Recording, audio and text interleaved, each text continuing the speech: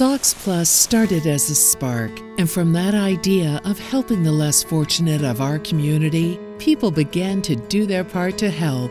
From just one person to a group of friends, from a class project to local businesses, all pitching in because that little spark can make the difference in someone's life all year long. Visit Community West Foundation on the web, Facebook, and Twitter to learn more.